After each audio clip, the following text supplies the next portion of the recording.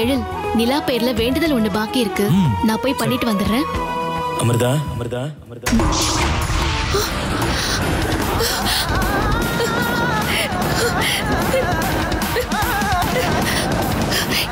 அங்க பாத்தீங்களா?